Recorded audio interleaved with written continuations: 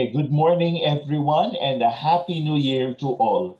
Welcome to the 21st SEARCA Online Learning and Virtual Engagement set webinar or what we call SOLVE webinar. We are streaming to you live through Zoom and Facebook Live. This morning, together with the Philippine Rice Research Institute, the International Rice Research Institute, and the Biotechnology Coalition of the Philippines, we will try to solve food insecurity through biofortification.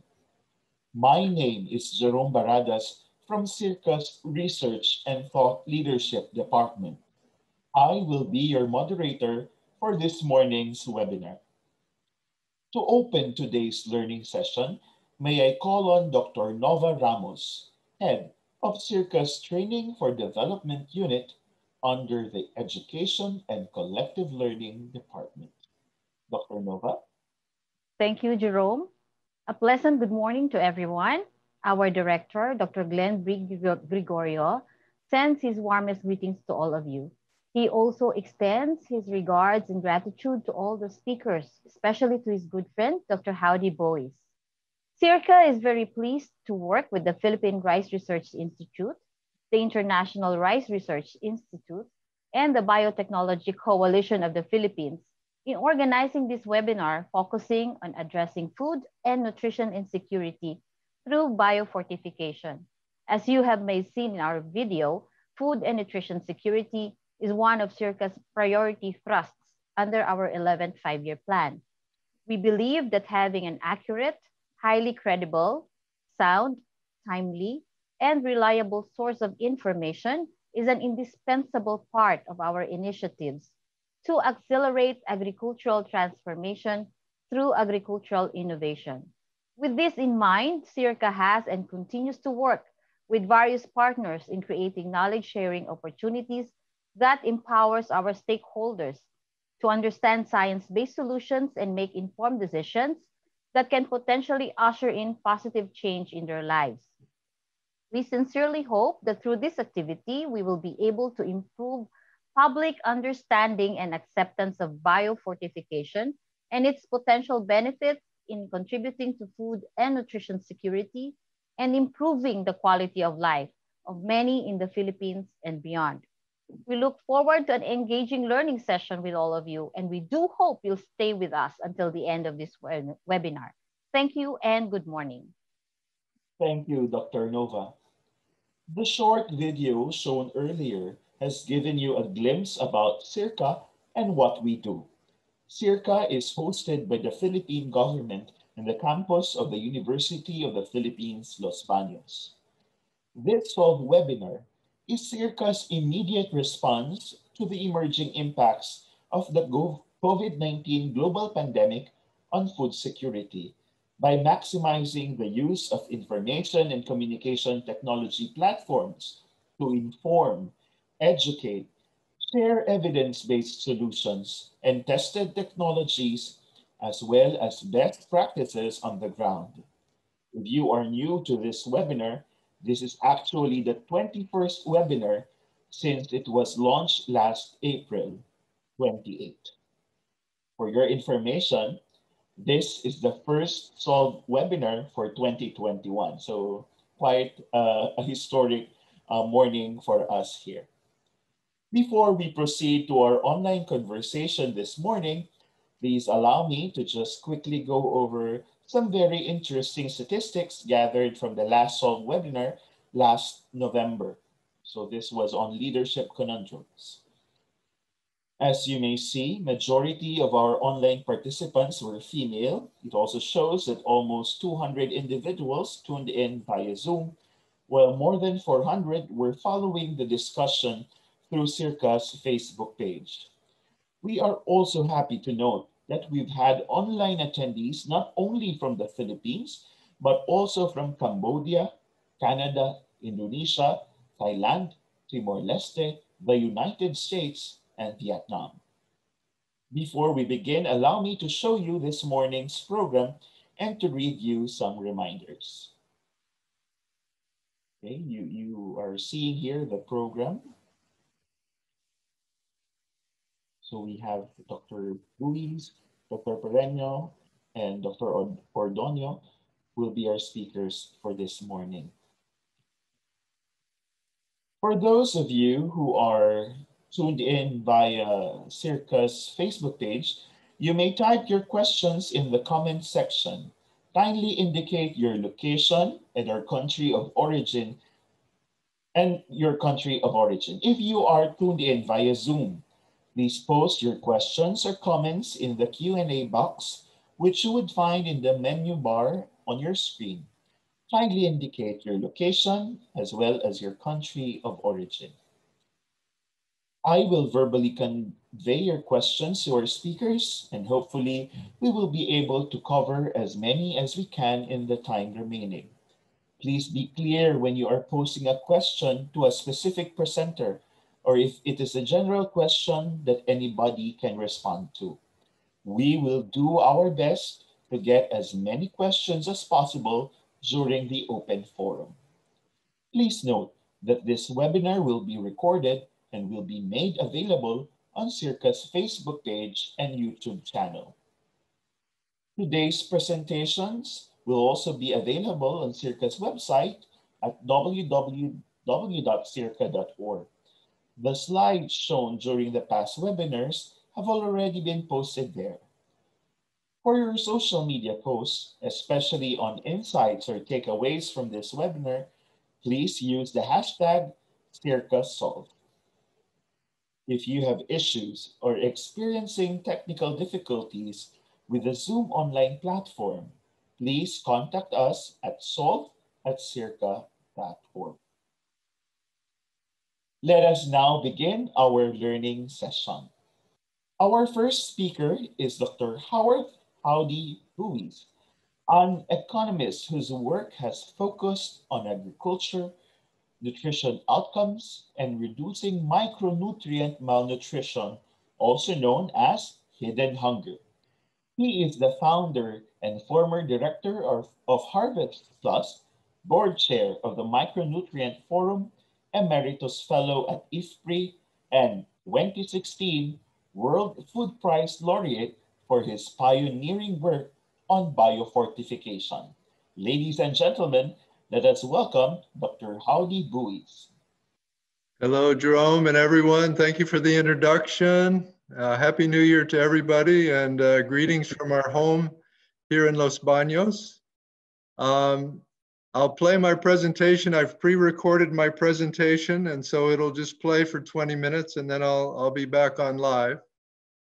Thank you for this opportunity to speak to you today about the role of agriculture and human nutrition in general and the specific niche and promise for biofortification in particular. I will start by delving into the background of what has been happening in agriculture for the past six decades and how this has affected diets. Next, I will talk about the comparative advantages and progress made for biofortification in the context of various nutrition smart interventions that can be taken in the agricultural sector. I will close with some remarks about the potential contribution of golden rice to vitamin A intakes in the Philippines. The fundamental cause of widespread mineral and vitamin deficiencies is that the poor cannot afford to buy sufficient vegetables, fruits, pulses, and animal products. The result is poor dietary quality. This slide shows the broad trend of what has been happening in agriculture over the past six decades in LMICs. Population has been growing rapidly, represented by the blue bar. Cereal production, represented by the orange bars, has more than kept pace with population growth.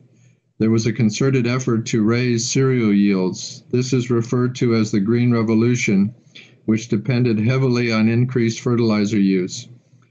However, the broad range of non staple foods did not experience the same increases in productivity. This is represented by the green bars. Pulses are only one example.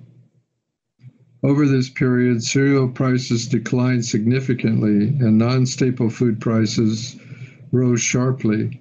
For India, for example, the chart shows that cereal prices declined by 40%, then have gone back up somewhat. However, and this is the main point I want to make about food prices, again, as shown for price data for India, non staple food prices have doubled, nearly tripling in some cases. These same trends have occurred in the Philippines, although I don't have the data to show today. These tables, data for Bangladesh and the Philippines, show the resulting dietary patterns which are typical of all LMICs. Cereal consumption is high to keep from going hungry, the same level of intake across income groups. Intakes of non staple plant foods increase somewhat with income. Animal product intakes are relatively low because they are the most expensive sources of calories, but percentage increases rise sharply with income. The foods represented by the green and red rows are the most dense in bioavailable minerals and vitamins but intakes of minerals and vitamins are too low to meet requirements, even for the higher income groups. Simulation shows what happens to diet when all food prices rise 50% and income does not change. This beginning chart before the food price rise, using the Bangladesh data in the previous slide, shows total expenditures about equally divided between food staples, non staple foods, and expenditure for non food items. Typical of the poor, about two thirds of total income is spent on food. Now you see what happens when food prices rise. The poor protect from going hungry by spending more for food staples and must lower their intakes for non staple foods and even expenditures for non food items. In this simulation, women's iron intakes decline by 35% how to address the problem of hidden hunger caused by poor dietary quality. The nutrition community began with programs to provide supplements and food fortification, which filled the gaps but did not directly treat the underlying problem of poor quality diets. For example, 10 billion vitamin A supplements have been given out over the past 20 years to preschool children, saving millions of lives. The cost is one to two dollars per supplement. Countries must continue to spend year after year for supplements and food fortification. A comparative advantage of biofortification is that, unlike supplementation and commercial fortification, recurrent costs are low once nutrient dense varieties have been developed through agricultural research in a central location then can be transferred for adaptation in country after country. This slide shows cost per DALY saved for a wide range of interventions. The dark green and light green lines are for biofortification, which predominate at the left-hand side of the diagram where costs are lowest. Biofortification is highly cost effective, although many types of interventions are needed to fully address the problem of mineral and vitamin deficiencies. This simple stylistic diagram makes the point that it is much more cost effective and sustainable for agriculture to supply a higher percentage of minerals and vitamins that people need at affordable prices, as represented by the green shaded portion of the rectangles, which represent total mineral and vitamin requirements. As we look to the future, we can break down the specific activities to be undertaken within agriculture into two broad groups. First, those activities which focus on food staples, which must increase the density of minerals and vitamins. Consumers already eat maximum amounts of food staples. Second, those activities which focus on non staple foods must seek to increase the quantities eaten. Fundamentally, the second strategy is only possible if incomes can be increased and food prices can be lowered. Both broad strategies need to be pursued simultaneously. Food staples are not dense in minerals and vitamins. However, the absolute intake of minerals and vitamins from food staples is the result of multiplying quantities consumed times the density. The first term in this multiplication, quantities consumed of food staples, is a high number. Thus, as this slide shows, milled rice in the Philippines provides a very significant proportion of a wide range of minerals and vitamins in diets. In fact, no single food in the Philippines provides more nutrients than rice. The objective then within the sub-strategy of focusing on food staples is to increase densities. I myself have worked for more than 25 years to promote and implement a strategy of biofortification through plant breeding. This picture shows a deep orange maize developed through conventional plant breeding, which is high in vitamin A. Africans eat white maize, which has no vitamin A, but vitamin A deficiency is widespread. The orange mazes are high yielding and sell for the same price as white maize. Getting Africans to substitute orange maize for white maize in their diets will go a long way toward eliminating vitamin A deficiency at no extra cost to consumers. Several types of biofortified crops are now released in 40 countries and grown by at least 10 million farm households. Some have more iron, some have more zinc, some have more vitamin A. This map simply shows the 63 countries where releases already have been approved or are in testing for release. Biofortification is truly a global activity. You cannot read the detail in the chart, which is available on the Harvest Plus website and which shows which crops are released and in testing in all 63 countries. The statistics include orange sweet potato varieties developed and disseminated through the International Potato Center, which is not part of Harvest Plus. For example, two varieties of high zinc wheat are released in Pakistan. Data in the table at the top of the slide shows that plant breeding is a stepwise process, with zinc densities climbing over time in the breeding pipeline rising from 36 to 38 to 40 milligrams per kilogram. Under an assumption of 20% Yeah. bioavailability, zinc wheats currently provide an extra 25% or so of the estimated average requirement, and this will rise over time with continued breeding. According to a recent blog in Devex by Lynn Brown of Harvest Plus, quote, if all wheat consumed in Pakistan's Punjab province were zinc enriched, the cost of a nutritious diet for an adolescent girl would fall by 25%. End quote. This is because of the price equality of biofortified varieties. More zinc for the same price. Moving now to the topic of scaling up of biofortified crops.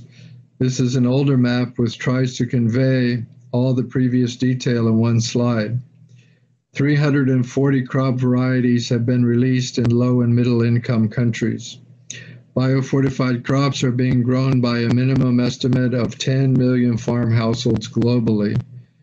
Harvest Plus is now striving to make the numbers of producers and consumers of biofortified crops much higher, in the hundreds of millions. For example, zinc rices have been available in Bangladesh for more than five years now.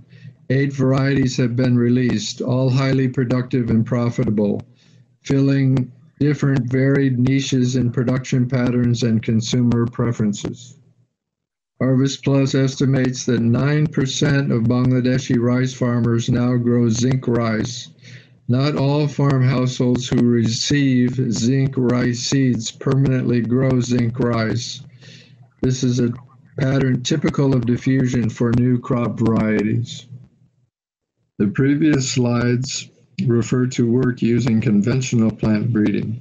Use of transgenic techniques, popularly referred to as GMOs, offers opportunities to multiply the benefits of biofortification. This slide shows that iron and zinc density may be greatly increased in milled rice over what is possible with conventional plant breeding. The height of the two leftmost yellow and blue bars in each chart show the iron and zinc densities that may be achieved using transgenics. The dashed red lines show it is possible using conventional plant breeding. The green line shows densities in current varieties of milled rice. Combine this with golden rice, and transgenic biofortified rice may contain high densities of vitamin A, iron, and zinc.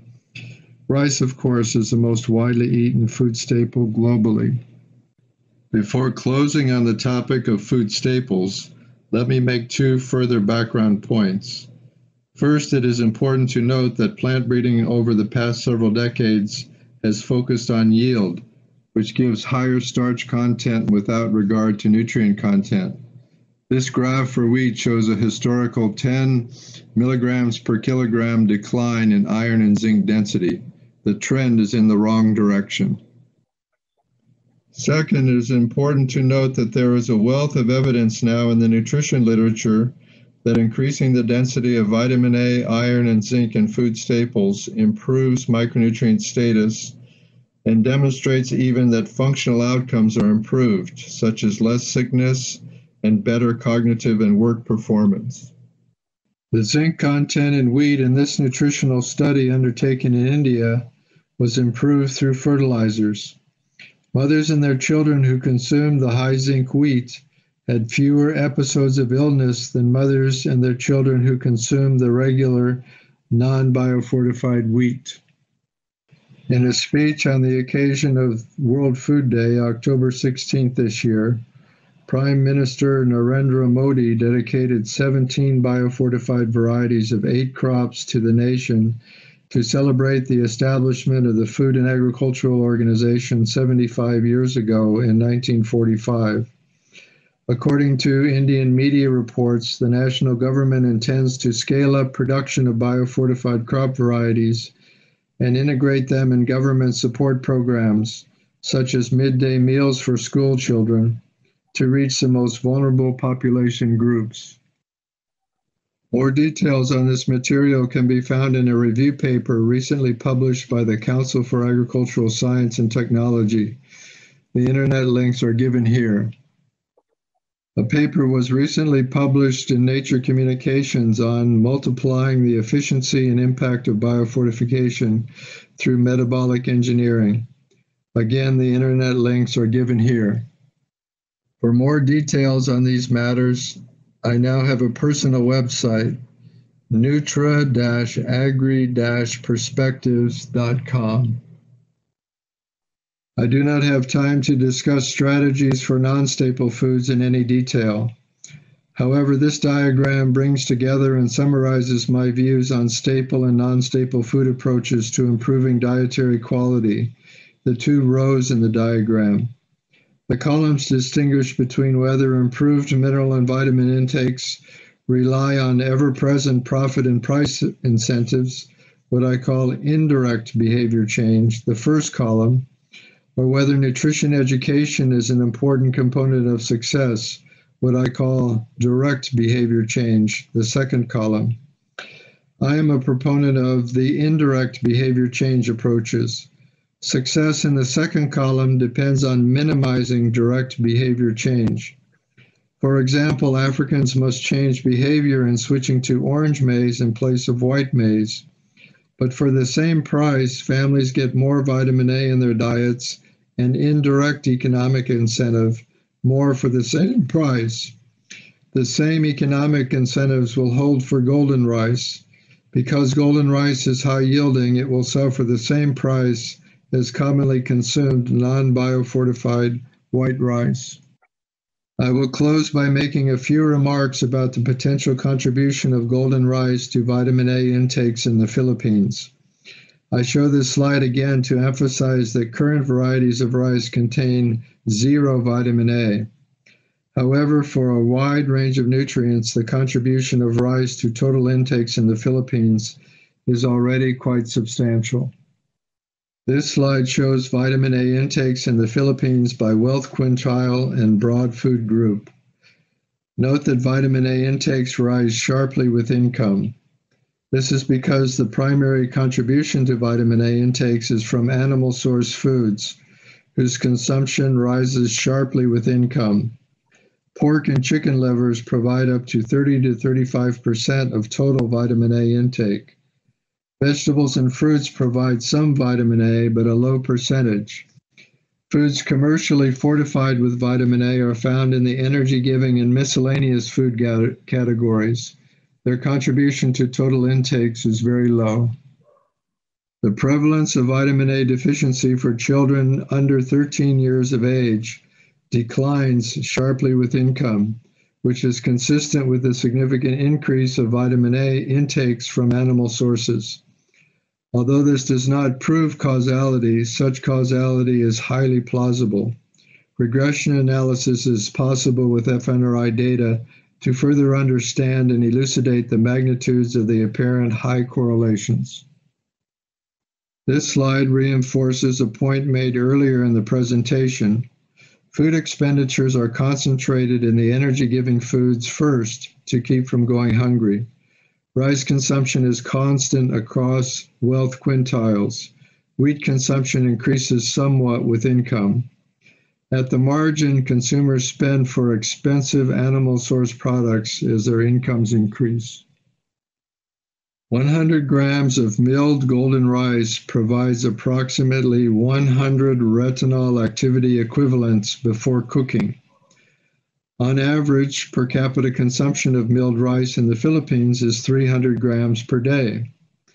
Thus, on any given day the golden rice is substituted for non biofortified rice, 300 retinol activity equivalents are added per person to the family diets at no extra cost. For the lowest quintile, this would represent nearly a doubling of vitamin A intakes from their present estimate level of 335 retinol activity equivalents. Rice is the perfect food vehicle for biofortification. The poor eat large quantities and are disproportionately benefited. In closing, on one of my visits to FAO headquarters in Rome, relatively recently I was waiting to meet someone in the main lobby. I noticed a small plaque on the wall and went over to read it. Here is what it said In this building, 16th of October 1945, so 75 years ago, representatives of 44 nations met and established the Food and Agricultural Organization first of the new United Nations agencies. Thus, for the first time, nations organized to raise levels of nutrition and to improve production and distribution of food and agricultural products.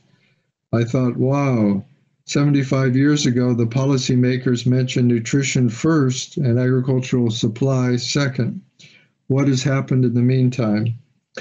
There is still much work to do to convince those working in agriculture to give high priority to nutrition objectives. So thanks everyone, and um, I look forward to the discussion that will follow the presentations. Thank you, Dr. Uh, Dr. Howdy. I would like to encourage everyone to post your questions via the Q&A box for those who are in Zoom or the comment section for those joining us through Facebook. Uh, Dr. Howdy has started with a wonderful discussion on, on giving us a picture of food staples and how to increase uh, their nutrition and how it can benefit us. I encourage you to be part of later discussion. Our next speaker is Dr. Martin R. Parreno. Dr. Martin is a licensed physician and public health practitioner with a strong background on food security and nutrition program, both in emergency and development context. Formerly under the Department of Health's Doctors to the Barrios program, assigned to one of the most remote island municipalities in the country, and worked as a rural health physician and nutrition action officer Later, he joined the DOH Health Emergency Management Bureau, then the Action Against Hunger International, a Span uh, Spanish-based international NGO, and now with the UN World Food Program as the OIC of the program unit and activity manager for the nutrition and food security related activities. Without further ado, let us welcome Dr. Martin Parreno. Hello, many thanks, Jerome, and good morning to all our colleagues who are here. Uh, my respect also to my fellow uh, resource persons for this morning. I'm very glad uh, that uh, WFP was invited to also share with you our experience with regards to our study called the Fill the Nutrient Gap. It's very timely, actually, and related to the objective of this session for today. So allow me to go through my presentation. This is actually also related and linked to the one presented by Dr. Howdy, but it's really more on the findings in the Philippines and of the other studies done in the other countries where WFP is doing the Fill and nutrient gap. But I will not deal so much on the biofortification. I will speak of fortification as a whole and the findings of this uh, study.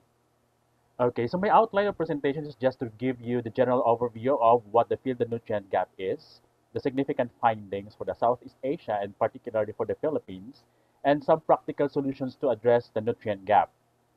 As you can see in your uh, slide there, you will see that these are the different countries in the world where WFP conducted the Fill and nutrient gap since 2016. And in the Philippines, we did it in 2018. As you can see, there are about 33 countries, and the result of that study actually was very useful in designing plans and programs of the different countries to achieve food security and nutrition. Actually, this study is using the um, linear programming, and particularly for the Philippines, we use the 2015 data from FNRI on the top 100 most commonly consumed food in the different regions of the country, including the price index during that time. So uh, probably you will think about, oh, that was in 2015. So what will happen? What happened now in 2020? Well, definitely the price actually of the nutritious food has uh, exponentially increased. But this one, uh, what we did was to use a model of one household with a child aged 12 to 23 months, a school uh, age child around 6 to 7 years old, an adolescent girl, lactating woman, and an adult man.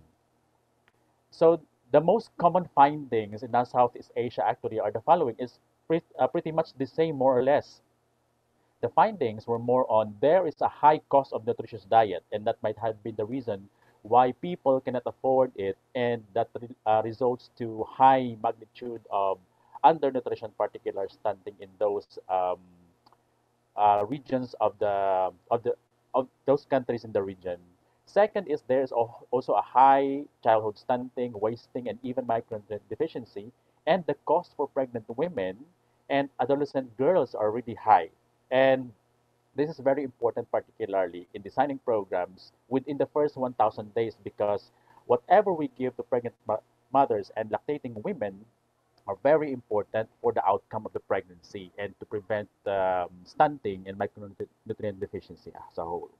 The other fi common finding is that there is a low infant and young child feeding practices in those countries. And what's very particular about the Philippines is that the minimum wage wasn't enough actually to address the cost of nutritious diet. Later, there's a slide which I'm going to present to you to show uh, the minimum wage. Another finding was that there's a lot of uh, local practices that affect nutritious diet, like example, the norms, the taboos, etc.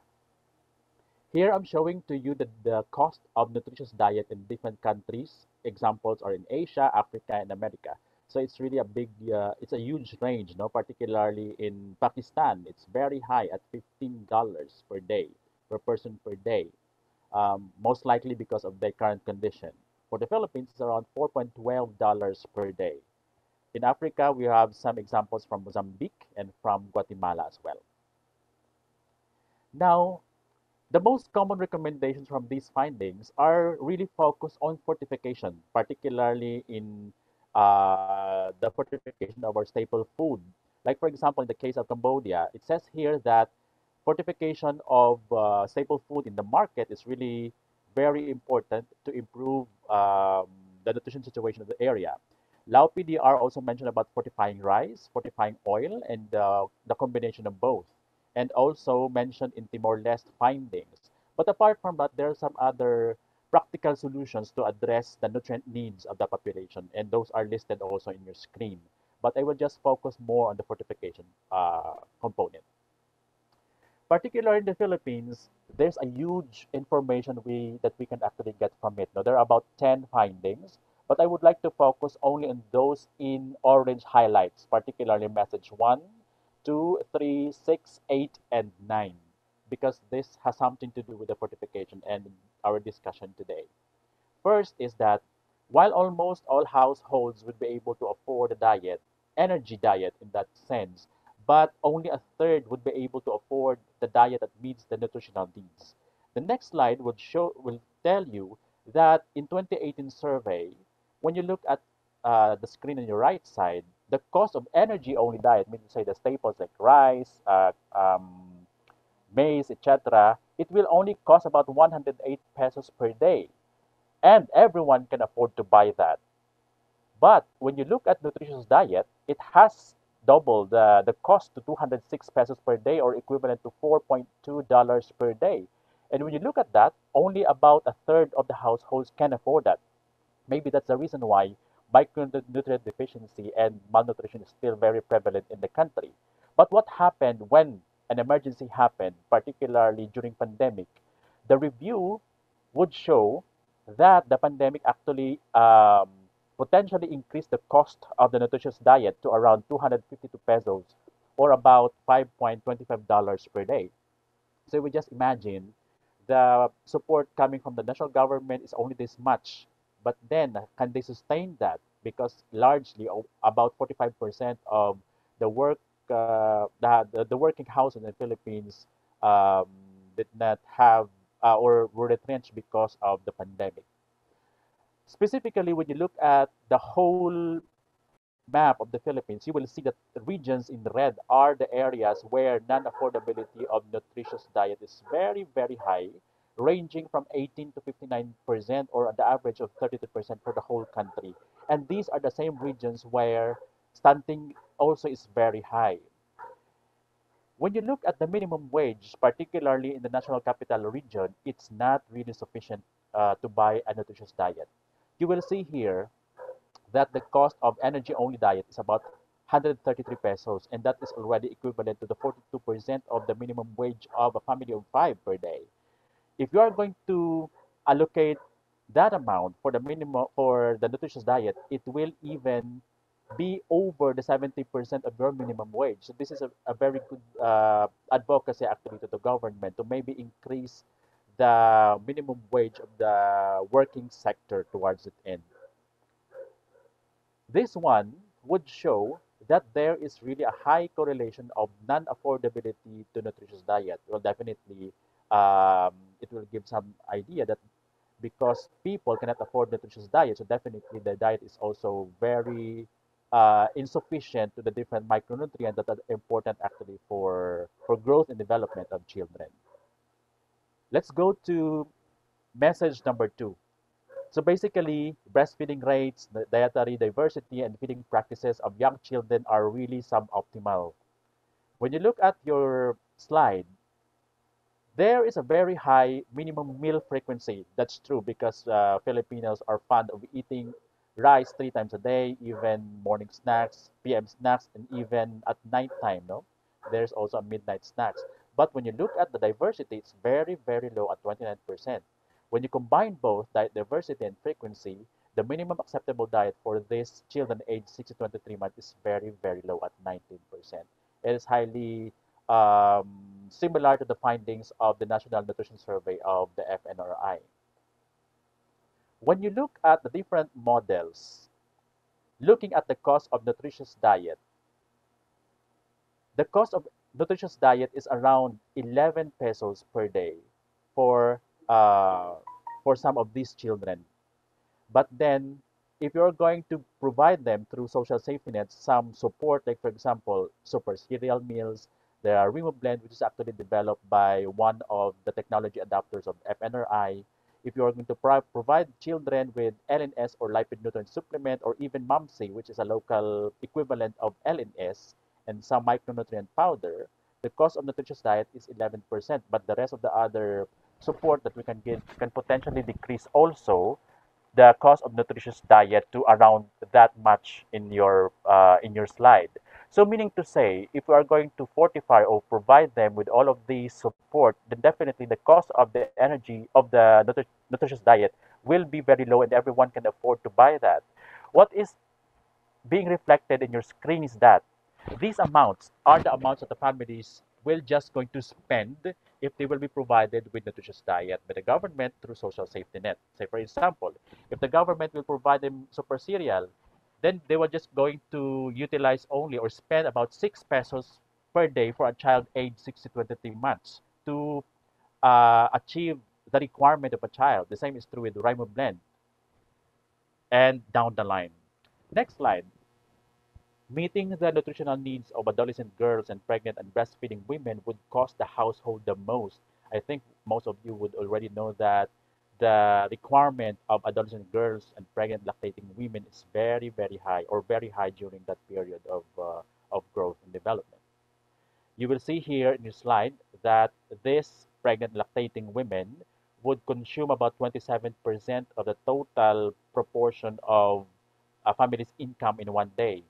Uh, and even adolescent girls at 33% because you know they're growing so definitely they need to uh, we need to invest on them so that their continued growth and development will be sustained ready for possible pregnancy because that definitely uh, they will be become mothers later on next if we're going to provide supplements to adolescent girls and lactating women you will see that the cost of nutritious diet for them is around 81 pesos for an adolescent girl in one day. But if we're going to provide them with super cereal, iron, folic acid, and even micronutrient tablet, it will even decrease to 52, 55, and 40 uh, as soon as uh, soon as so forth. The same is true with lactating women. So, what is the message here? If the social safety net program is really uh, well implemented, definitely it will allow households to afford nutritious diet. Next slide would us that the policy in the Philippines is really focused on rice self-sufficiency with low demand on vegetables and do not incentivize agriculture diversification. As you will see here, just like the other countries in Southeast Asia, Philippines is also a large consuming country with regards to to a staple food like rice, no? But then in the FAOSTAT 2016 data, the Philippine production was more on sugarcane, followed by rice, 468 uh, grams per day, and then coconuts, and only less on the production of vegetables and fruits. And these are very important food which can provide us with micronutrients. And then the home production of nutritious food can reduce cost of produce is consumed. So this is one of the things that we need to do. We need to intensify our advocacy towards homegrown school feeding, backyard gardening, etc. Because it will uh, potentially decrease the cost of nutritious diet from 165 pesos per family per day to 148 pesos if you consume it yourself. This slide would tell you that if you are not planting anything, if you're just buying it from outside, the non-affordability of nutritious diet is about 59%. But if they will plant and consume their produce, only about 45% cannot afford the nutritious diet. If they will consume it and sell the surplus or report it at the price in the market price, it will even reduce the non-affordability to 24%. But if you plant it, consume it, and then you sell the surplus at the market price, meaning to say no middleman who are potential potential to increase the, the food price. Everyone actually can afford the nutritious diet. The next slide would tell us that during natural disasters and emergency preparedness plans, the programs and monitoring tools need to be strengthened to include nutrition. As you will see here, during emergencies in the Philippines, the Department of Social Welfare and Development, or DSWD, is providing family food pack to households there is a policy uh, on that, and there is uh, some technical review about what's going to be the content of the family food pack because it will address definitely the required need of a family of five uh, for two days. However, in reality, what is being provided is not attuned actually to what is in the policy. So you will see here a table that would tell us the components. Now on your left side, uh, this includes rice, and supposedly it should have been iron fortified. Corned beef, sardines, laing. This is actually um, a vegetable that is preserved in can and pinakbet, multi-nutrient growth mix, and instant coffee in three-in-one. What is being provided in actuality is the not fortified rice and some of those like corned beef, sardines, and instant. So there's a lot of other items which are not provided in actuality because of the availability and the problem with supply chain. But what is written in the memo is the one on your right side. Looking at it, the family food pack actually has a potential to improve the, the nutrient intake of the population. You will see there that if you are going to modify the food pack, it can even increase the energy and some of the micronutrients um, significantly. But the message here is that if the government will not provide it according to the policy, definitely it cannot provide what is needed by by the household in the affected areas of the calamity. You will see here also a slide that will tell you that the cost of nutritious diet for a family is 219. If you will provide them uh, the family food pack outline or based from the policy, it can decrease actually to 57%. So almost all, all, all households can, uh, can access nutritious or buy nutritious diet. But if it's not followed, the cost of diet can only decrease up to 132 pesos per day. Next is the existing school meals program in the Philippines can provide children with nutritious food. So currently, this is part of the social safety net program of the government. We have school feeding uh, sponsored by the Department of Education and the supplementary feeding by the Department of Social Welfare and Development for uh, the preschool children it really has a potential to decrease the cost of nutritious diet, say for example for preschoolers from 22 to 19 pesos and 25 to 18 pesos for the Department of Education.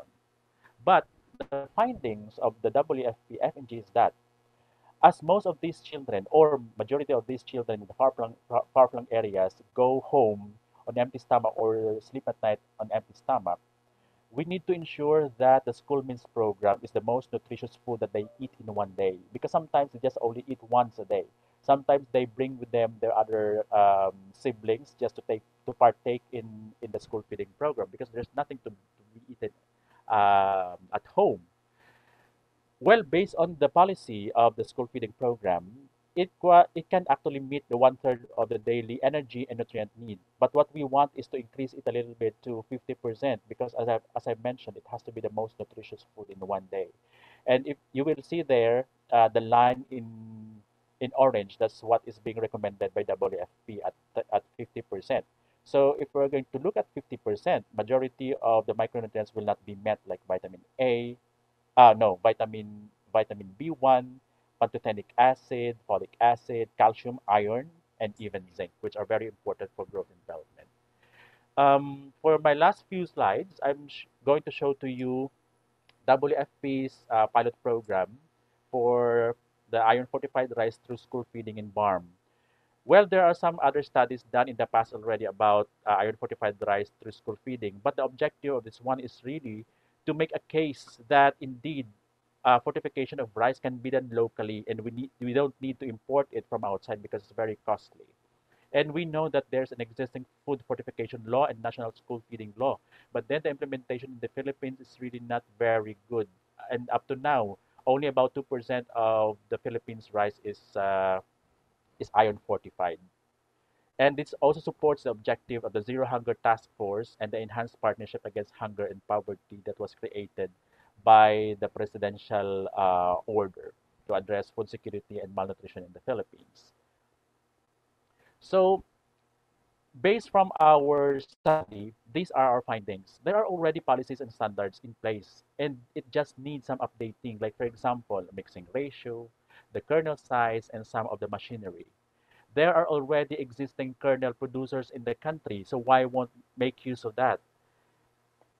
and then there are already equipment available in the country. The the the government already provided through the OST, I mean, and NFA provided different machineries to the different regions in the country, which we can actually tap. And we just need to have some large scale demand generation in order for us to uh, ensure that this can be scaled up in the whole country. And definitely, it's very important to make some behavioral change communication towards that end. So my take-home message is that one, fortification really works and it reduces the cost of nutritious diet that can contribute to the reduction of malnutrition, particularly stunting. It can increase the affordability of nutritious diet and as, soon, as long as it is uh, included in social safety net program and it can be scaled up. So we need to just scale up existing practical solutions, but definitely continue with the different innovations. So that's all from my end. Thank you very much, and uh, would like to listen to your queries and questions later on during the Q&A session. Good morning, and thank you.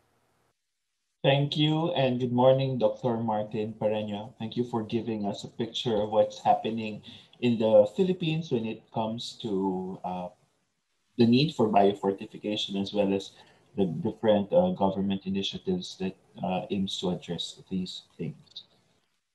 Our last speaker is currently a senior science research specialist at PhilRice and has been conferred the rank of Scientist 1 by the, by the Civil Service Commission of the Philippines and the Department of Science and Technology last May 2019.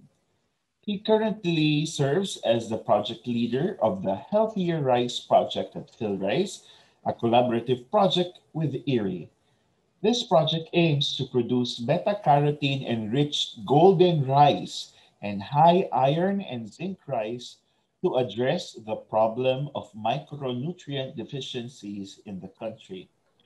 Dr. Ordonio's fields of interest include plant genetic modification and gene editing, whose works have already been published in numerous international journals, He is also involved by the National Committee on Biosafety of the Philippines, or NCBP, in developing the first ever policy of the Philippines on products of plant breeding innovations, which include gene editing.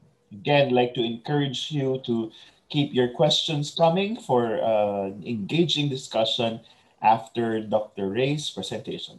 Without further ado, let us welcome Dr. Rey Ordonio. So thank again, you. thank you so much, Jerome, for that introduction. Thank you so much for having me here. And thank you so much for our organizers for and about agriculture and nutrition in this webinar. And as you know, nutrition is a very important topic nowadays that we're still in the pandemic condition. And nutrition is also one of the goals of the Department of Agriculture Food Security framework in that they aim to provide not just food, but also safe and nutritious food. And talking about uh, safe and nutritious food today, I will be talking about golden rice, particularly the regulatory progress leading to pilot scale deployment. So let me start my presentation by showing to you the state of nutrition in the Philippines. Did you know that Filipinos have the second shortest average height in ASEAN and we are ninth worldwide in terms of stunting and also 10th for wasting? And did you know that these symptoms are because of micronutrient deficiencies or hidden hunger? And among the reasons for stunting are vitamin A deficiency or, or it could be zinc deficiency. And in the Philippines, 16.9% or about 2 million children below five years old have vitamin A deficiency, one of the reasons for the stunting. And these account for 25.8% of the children living in poorest households. The problem with vitamin A deficiency is that this can lead to reduced immunity, to poor eyesight, and also problems about cognitive development. And since the development of young children are at stake in the future and in the macro level, this can result in reduction in productivity of the population plus reduced quality. Now relate this to the role of rice in the Filipino diet. In the Philippines, Filipino households spend almost 30% of their daily food cost on rice which comprises almost 40% of the daily diet. And the rice budget and consumption is highest in the poorest households.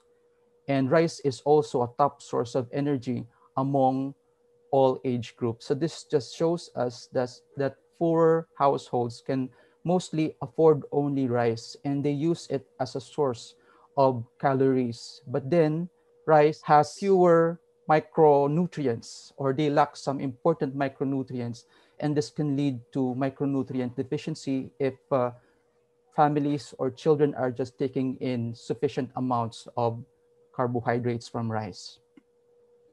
And now that we know that there is a problem about vitamin A deficiency in the Philippines and that rice is an important source of calories for Filipinos, this is a staple food among Filipinos. This makes golden rice the promising tool for addressing the problem of malnutrition by being a complementary solution. This means that golden rice should be taken in along with other sources of vitamin A in the diet.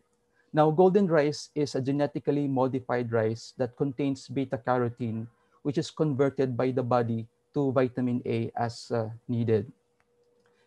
And uh, this aims to provide 30 to 50% of the estimated average requirement or EAR for vitamin A for young children. And um, because rice is our staple food and we eat a lot of it, especially in the poor households, and that because poorer households can mostly afford rice, even a small increase in the micronutrient content in the grain could have a significant impact on human health. Now, golden rice, in terms of its development and the regulatory process it is going through, has gone through a lot through the years. And in this slide, I'm showing you the bird's eye view of the regulatory process. This all begins in the laboratory where the transgenic events are generated.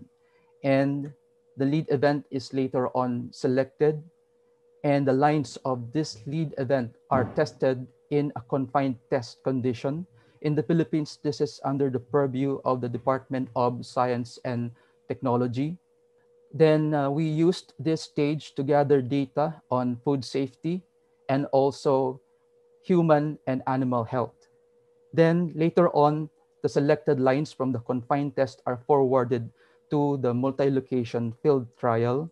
And this is actually for getting environmental safety data.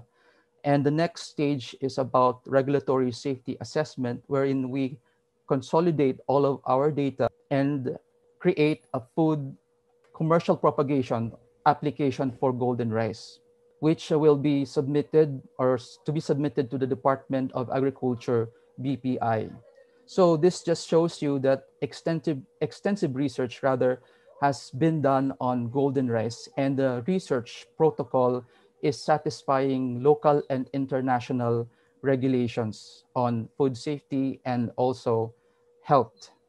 Now, we gathered also permits or approvals different institutions on food safety, like the Australia, New Zealand, FSANZ, Food Safety Australia, New Zealand, or Food Standards Australia, New Zealand, rather, and the US FDA plus Health Canada.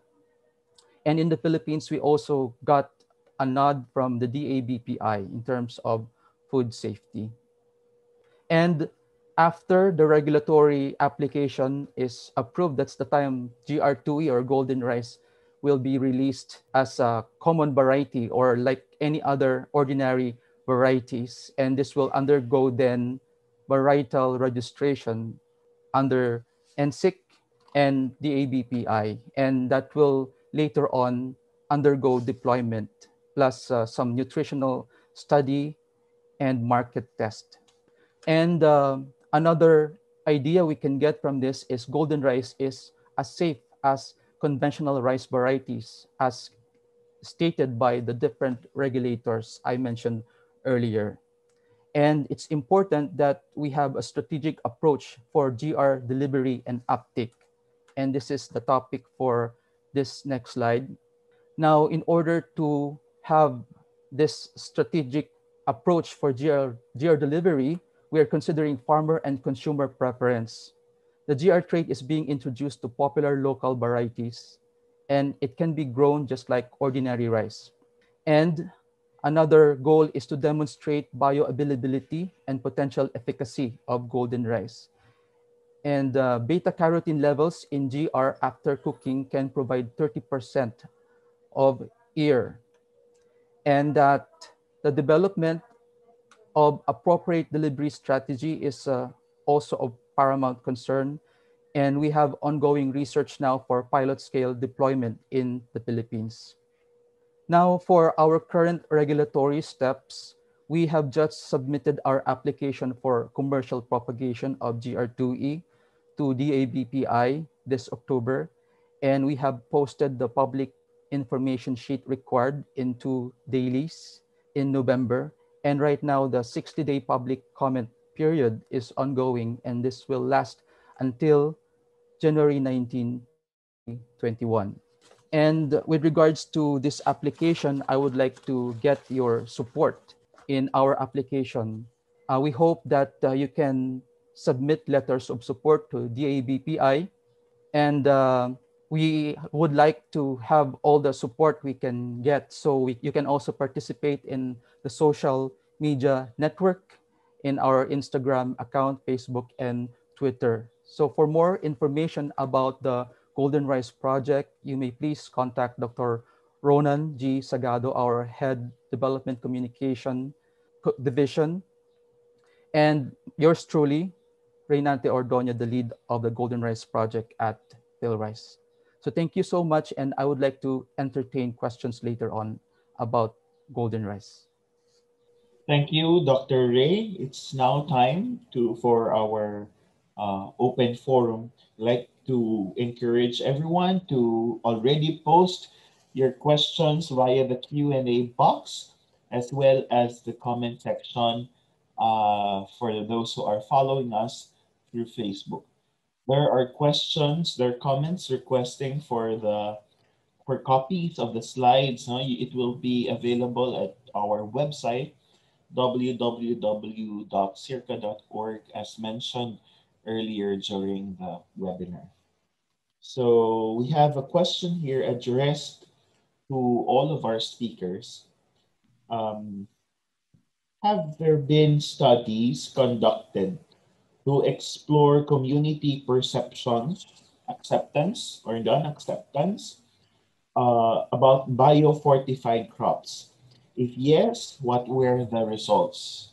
So the community acceptance of products of biofortification. Perhaps we can do it in the same order. Dr. Howdy first, and then Dr. Martin, and then Dr. A. Dr. Howdy?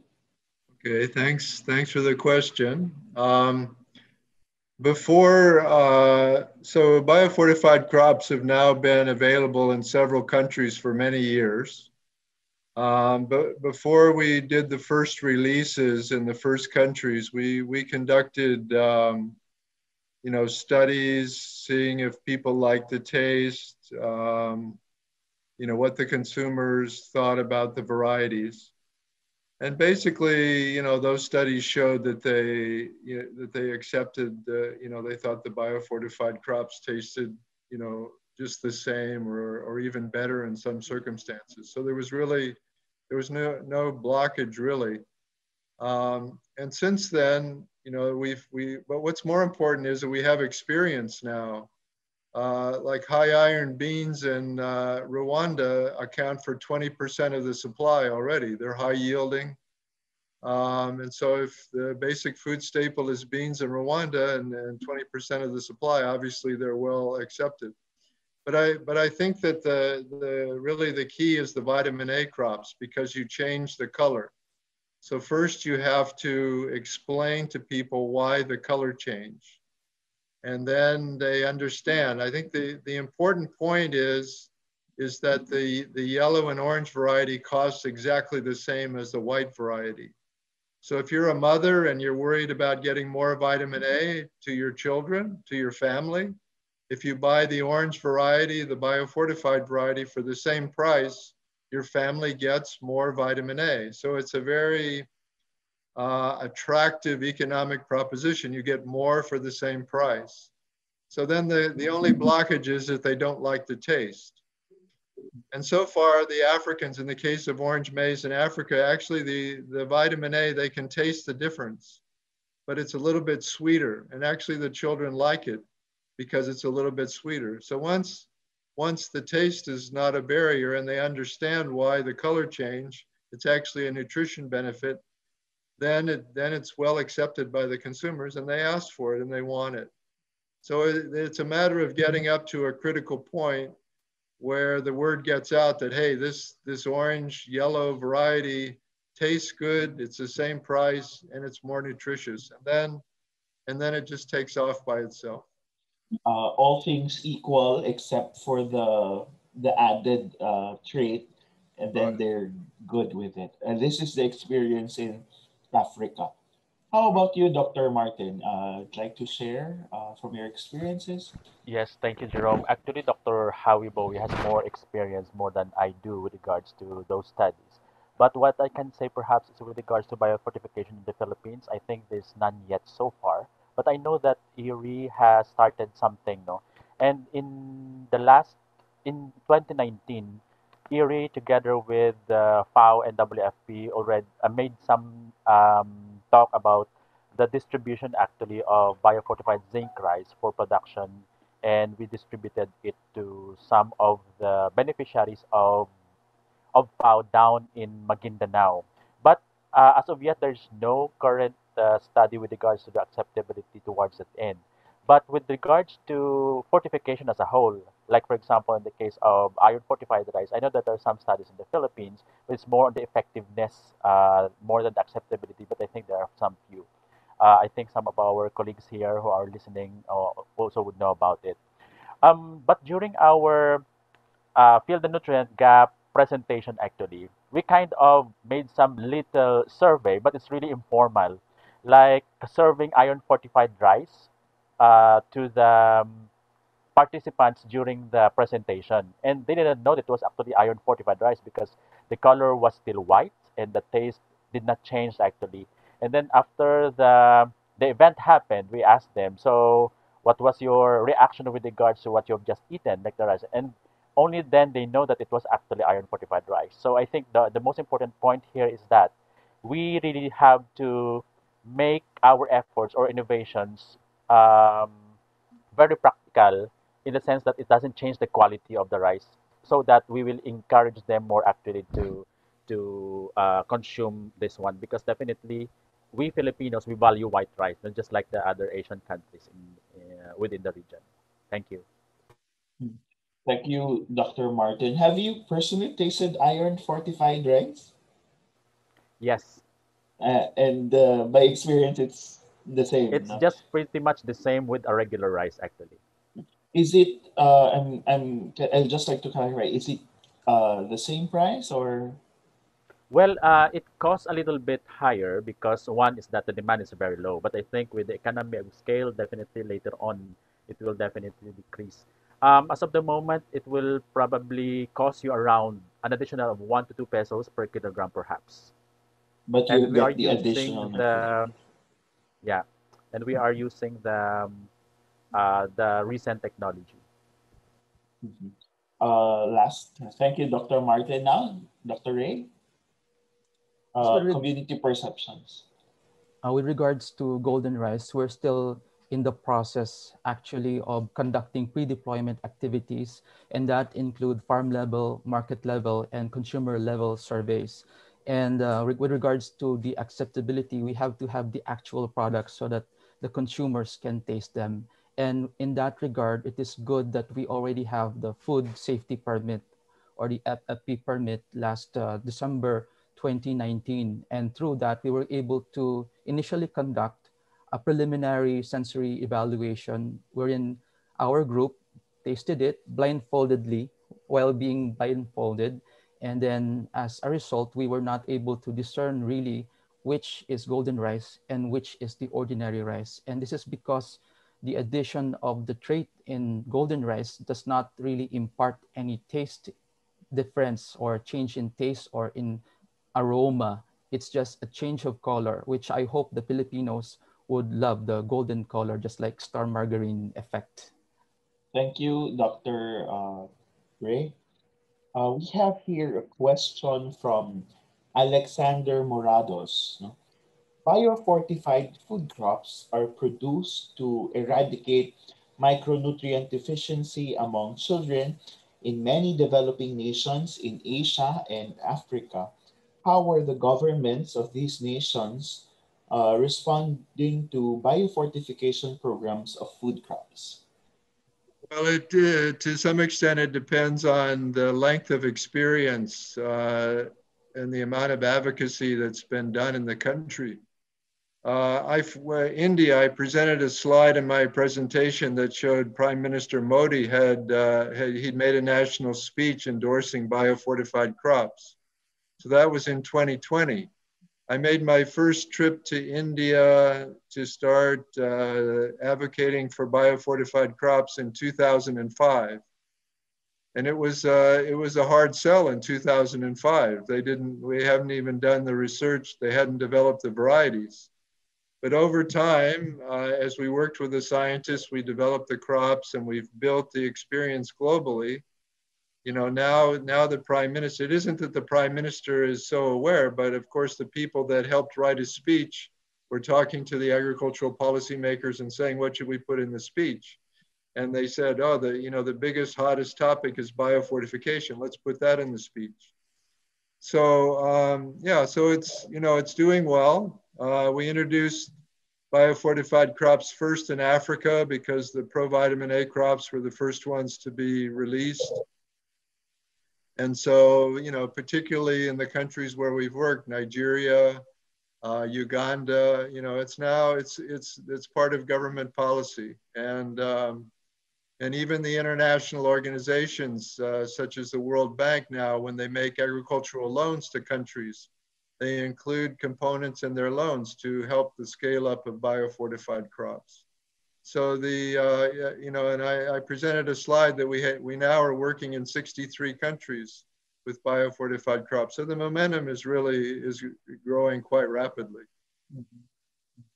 I think um, I saw in Dr. Martin's presentation how um, I, there's a memo from the DSWD correct me if I'm wrong, that the food pack should have iron fortified rice. However, this is in writing, but it's more difficult to to implement, right? Because of yes, the the supply chain and the availability. And but even the demand. Least, and the, and the demand. No? The policy is there. So right.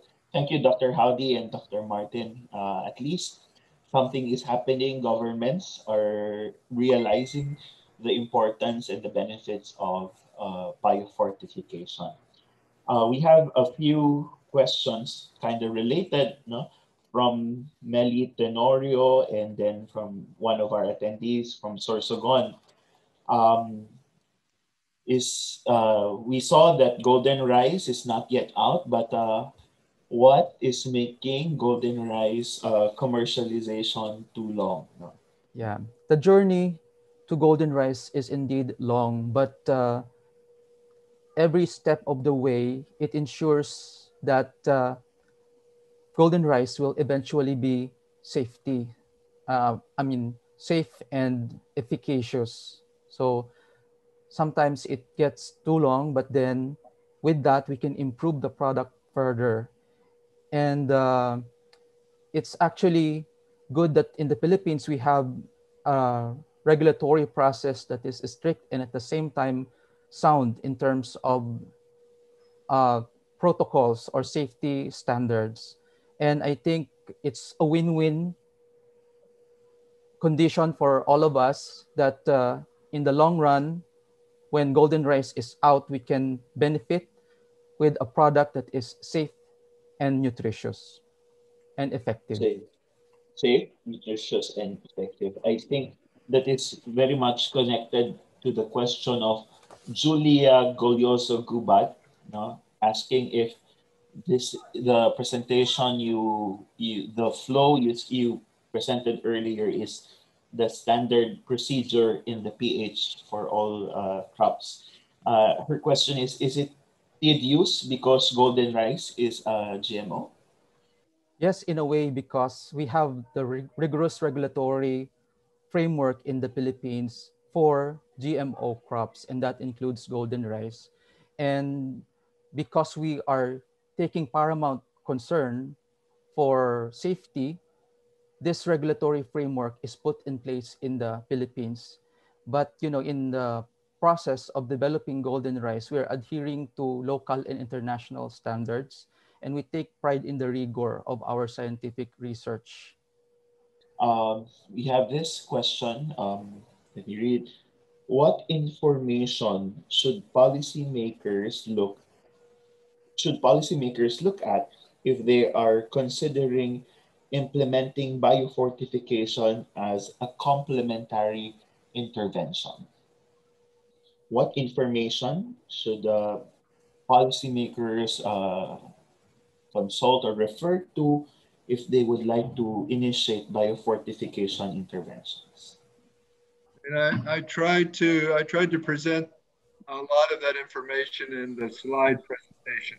Uh, first point is is that it's very cost effective.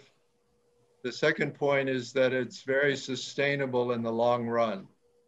Uh, once the biofortified varieties are out in the food system, you use the same inputs, the cost is the same. Let me, let me give an example.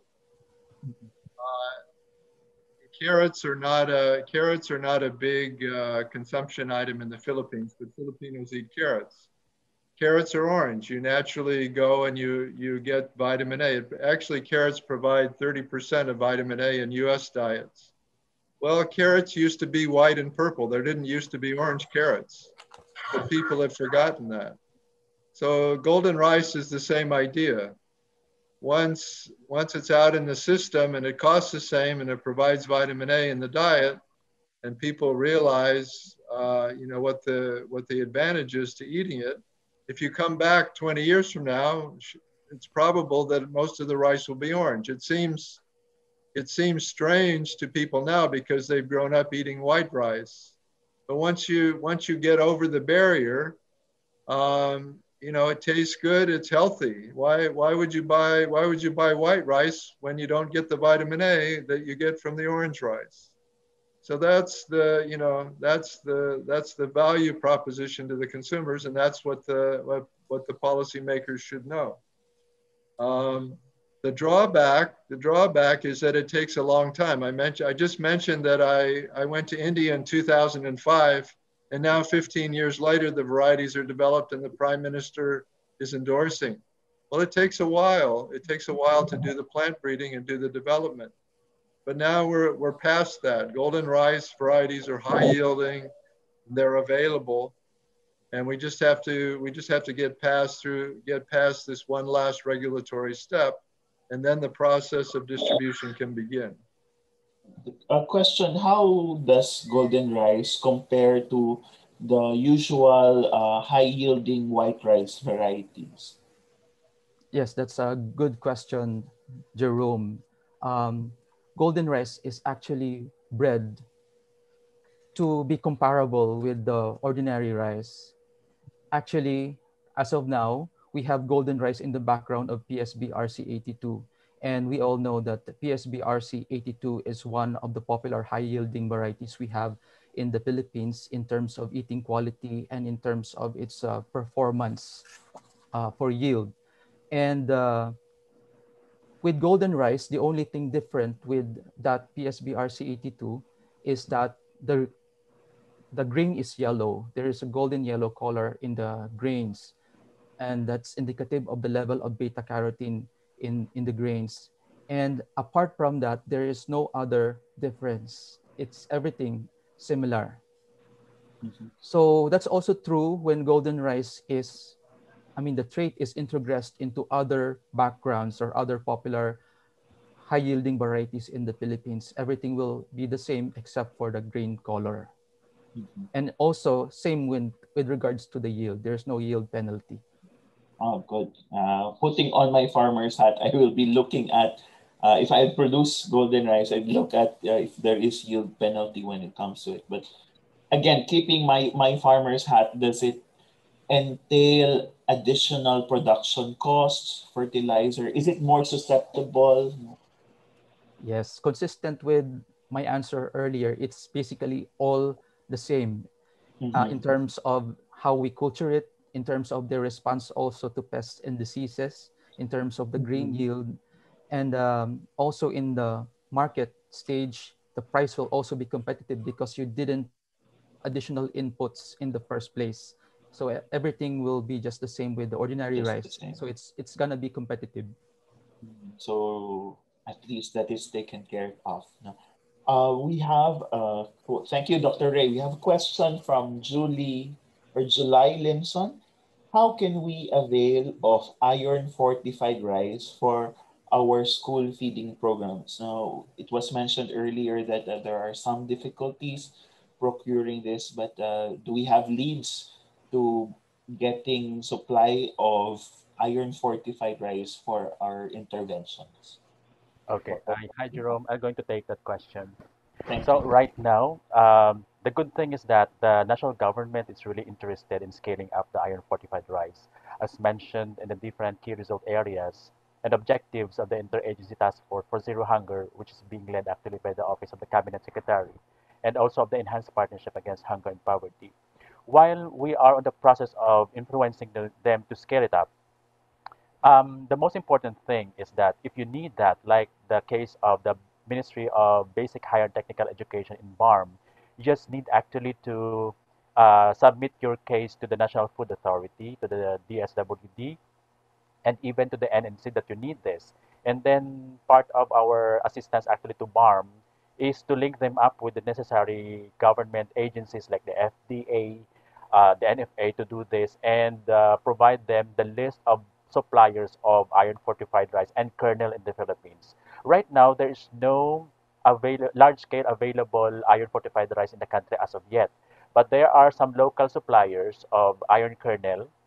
And what the agency would need to do is maybe through the procurement process, look for the supplier of iron fortified rice and uh, maybe look for the suppliers also of the local rice. And if I may suggest, uh, get it from the small scale farmers to help their livelihood as well. And then we can link you up with the FDA for the standards and following all of those policies and guidelines down the line. But I know that through the enhanced partnership against hunger and poverty and the interagency task force, this will be uh, taken into consideration. The objective of the enhanced partnership against hunger and poverty actually is to provide support to the livelihood, the small scale farmers, and link them up to the different um, uh, supplementary feeding programs like the Department of Education School Feeding Program, the SWD, even the Department of Health, and the Bureau of General Management. So what we want is there is a market ready for our small scale farmers, and if they can provide those, and even our private sectors, if they can provide a very cheap kernel, then most likely we will be achieving what we want to do. And Jerome, if um, if I may, I would like to add also some information with regards to the recent question with regards to what kind of information the government need in order to adopt biofortification. I think the most important there, from my point of view, because I, I worked with the local government before, is really to let them understand what's the value of human capital and what their objective really is. And if they want to have some legacy to the government later on, when they die, at least people will will um, will thank them. Oh, this person really made some impact really in addressing food and nutrition security. They need to understand the nutrition situation in the Philippines. But I think us as, advocates, we need to make a very clear, simple, and um, very simple information for them to grasp actually because this will create some momentum later on for them to adopt some certain policies and guidelines. I think one of the reasons why the Iron Fortified Rice program in the Philippines did not fly mainly because we change administration from time to time. And most of them actually really don't have some idea about what food security is. But now that because of the of the pandemic, they already felt that indeed we really need to invest so much on food security and nutrition. And I think um, just in the case, I in the case of the local government down there in Maguindanao, who actually accepted this uh, biofortified zinc rice, the first thing that they um, the the first thing that they uh, they saw was actually that the yield was even higher as compared to the regular rice. Oh. But they said, how are we going to mass produce this one? Because we don't know yet what's going to be the support of the national government. So I think our our approach should be multi-level. Advocate it at the national level at the same time to the local government unit. Because if these two will connive, then definitely this will fly through. We'll have the balance between uh, the demand and supply and the support, the policy of the government. Um, I would just like to confirm, thank you, Dr. Martin. I'd just like to confirm this with Dr. Rey. Uh, he mentioned earlier that the cost, the production, and the, the taste and the yield of golden rice compared to ordinary varieties is, is just the same as the, the ordinary variety where it is where the trait is placed. There is a question here uh, about the cost per bag of seed. I assume it will assume I assume that it will be the same as the ordinary, right? Yes, yes. Okay, thank you very much. Um, if you still have questions, please feel free to send them and we'll try to uh, farm them out to our speakers and hopefully uh, facilitate a way for them to, to answer your questions. No? Uh, but before we close this webinar, may I request uh, a, a short takeaway message or some closing from our speakers. First with Dr. Howdy. I, you know, in my in my slides, I described the reach of biofortification to 63 countries, and all of that was through conventional plant breeding. Um, but I've also published a paper in the last few months, which was also cited, that uh, we can really multiply the impact of biofortification if we can use transgenic technologies, use GMOs. It's really um, it's really holding back the impact of biofortification not to use the GMO technologies. And the reason is it's because of all the strict regulations that go on. Yet all the, uh, all the academies of science around the world have said that it, there's no danger to the, to the environment, that GMOs, all the evidence is that GMOs are safe. In fact, I think it's something like 9 or 11% of all agricultural land on the globe are planted to GMOs or planted to transgenics. Um, so the science, the scientists say it's safe, and yet there's this fear, which is which is really too bad. Um, the scientists say that climate change is happening, and there's some people who deny that climate change is happening. The scientists say that vaccines are good for public health, and there are people that, that think, you know, that are afraid of vaccines. The scientists say that GMOs are safe, and yet there's, uh, you know, there's fear out there about GMOs, and that's too bad. Uh, but they, they can, this technology can do so much good. We can have a rice that's high in iron, high in zinc, high in vitamin A. Um, and, uh, you know, we could do so much to reduce these deficiencies through public health through rice. And so I, you know, I very much hope that uh, golden rice in the Philippines will lead the way for the for the whole world, really. So thank you. Thank you, Dr. Howdy. Uh, Dr. Martin. Thank you, Jerome. Uh, maybe my last few words would be the captain of the ship actually is the is the government and it's actually them that we need to provide basic information for them to really understand what people are doing to address the problem of the, of the country. They should think of these uh, initiatives as investment and as savings rather than expense. And I think the most important, likewise, is the value of social behavioral change communication to address some taboos and norms that actually inhibits us to access nutritious food if we influence them from different levels, we, we, we call it syndicated messaging. And even the involvement of the media, definitely everyone will change. Behavioral change is really a big problem to solve, and it will really take some time. And uh, one of the things that WFP is also currently doing is the current study with uh, our service provider on climate change and food security we would like to look at what's the effect of climate change on livelihood and crops in the next 30 years, 50 years down the line in order to support the government in future programming. So we also should not forget supporting our small scale farmers because definitely they are in the front lines. They are the ones actually who are suffering a lot because of the climate change. And it's only in the Philippines, I think, in, and I think it's also true in some other Southeast Asian countries, that our farmers are the people who belong also to the, to the most vulnerable and impoverished population. In European countries, when say you are an agriculturist, you are actually high, uh, belonging to the higher echelon. Thank you very much. Thank you, Dr. Martin, for those words. Now, Dr. Rey. Yes, um, I think this pandemic situation or the COVID, the COVID-19 situation that we have is an open, eye-opening, eye-opener rather, sorry, to the importance of biotechnology for the whole world, um, not just for health, but also for biotechnology. And with Golden Rice, we are offering a sustainable form of rice that can provide us with additional sources of beta carotene. And I hope that uh, this product will move swiftly through the regulatory process. And I would like to take this opportunity to get your support in our application for commercial propagation by sending in your letters of support to the BPI director through BPI Biotech Secretariat at uh, gmail.com and also support us in our social media platform at uh, Golden Rice PH on Facebook, Twitter, and Instagram. I hope that uh, with the regulatory approval, uh, we can provide better nutrition to those most in need. Thank you.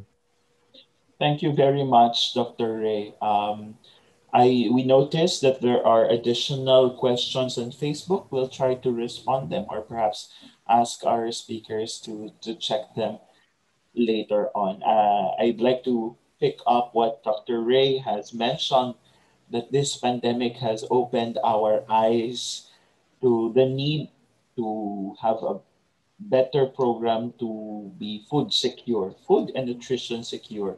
And today, dear friends, we saw through the presentations of Dr. Howdy, Dr. Martin, and Dr. Rey how biofortification offers us, um, we, we saw the, the science-based evidence, uh, we saw the process that uh, these products go through so that they'd be able to deliver effective, safe, and nutritious uh, products that for, for us, for the consumers, for farmers and farming families, and especially those who, uh, the poor, or uh, especially those who are poor, who are finding it more difficult to gain access to a more balanced and nutrition diet. No, we saw this in the graphs that Dr. Howdy uh, presented earlier. So we share uh, Dr. Martin's and Dr. Rey's um, uh, call uh, as, well, as well as Dr. Howdy's uh, in, in advocating for biofortification to address our food and security, uh, food security uh, challenges. On behalf of SEARCA, which is led by our director, Dr. Glenn Gregorio, we'd like to express our sincere gratitude to Dr. Howdy uh, Bouis, Dr. Martin Parreno, and Dr. Rey Ordonio for joining us today. It has been a true pleasure to have you with us for this learning experience. I'd like to invite everyone to have a virtual round of applause to our panelists for this morning. Thank you very much, and we hope to see you soon. Before we end, may I now call on Dr. Ronan Zagado, the Chief of the Development Communication Division at uh, the Philippine Rice Research Institute, DEVIC. Ronan? Hi, good morning. Uh, magandang umaga po sa ating lahat. I've noticed that we have um, diverse participants from across the country as far as Camiguin, Tacloban, and Leyte, and also from abroad, from Myanmar. So good morning. So first of all, on behalf of uh, SEARCA, IRRI, and BCP, Biotech Coalition of the Philippines, we would like to thank everyone for participating in this uh, first SOLVE seminar this year. Uh, that was a very insightful and uh, interesting discourse on the role of biofortification in addressing food and nutrition in insecurity. Um, I'm trying to pull up my PowerPoint presentation. I think something is something is wrong. But um, anyway, so just to um, summarize, our three able resource persons have uh, generously shared with us their extensive knowledge and experience on the subject matter.